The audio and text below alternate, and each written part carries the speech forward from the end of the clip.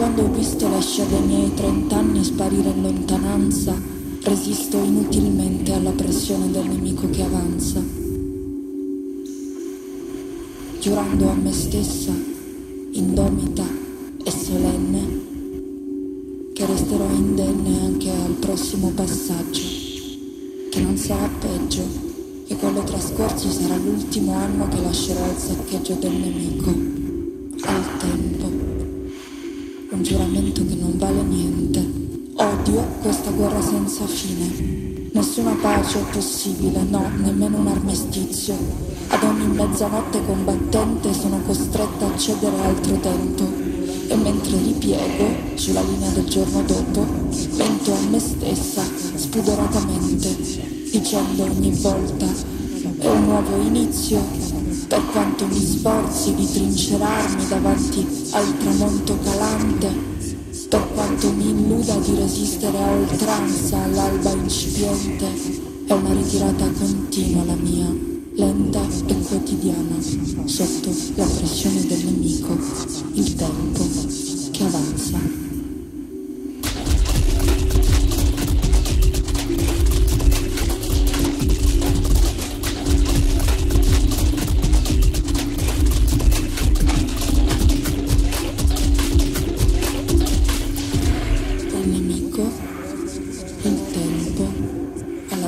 faccia ingenua,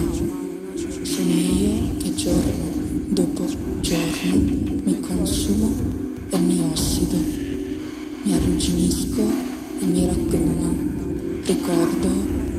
le piccole battaglie affrontate al colmo dei vent'anni, poco più che scaramucce che risate, volate leggere cartucce sparate a salve minimi affanni. faceva male, un ginocchio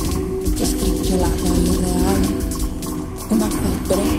che mi artigliava ma non oltre due o tre giorni e non di frequente. Io a quell'epoca la linea la tenevo saldamente,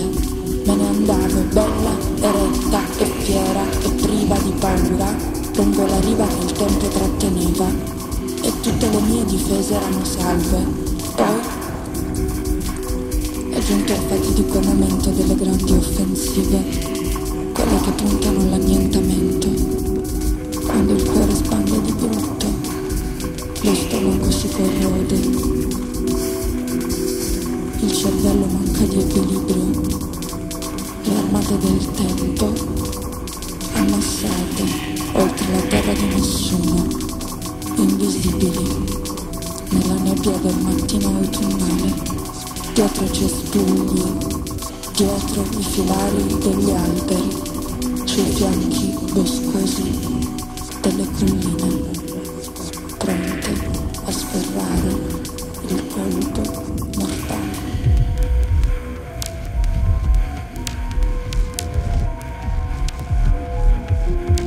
Ora eccomi qui, a combattere l'ultima battaglia di retroguardia le linee difensive,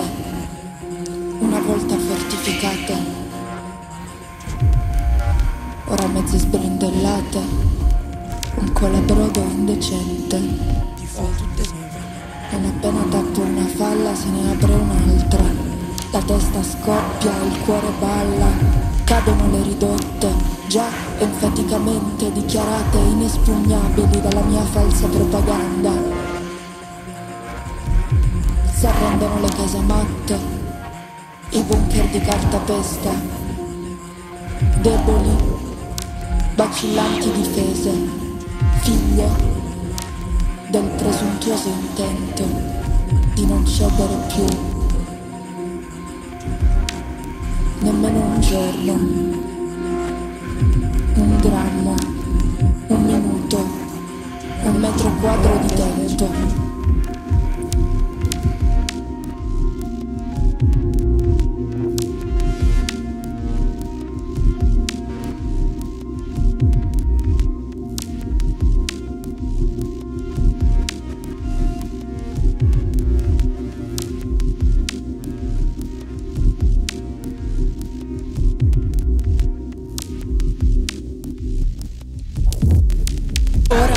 Amici miei,